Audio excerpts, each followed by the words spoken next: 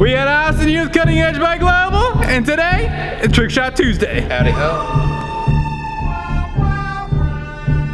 All right, what do you have for us today, Austin? Today, we got the boom.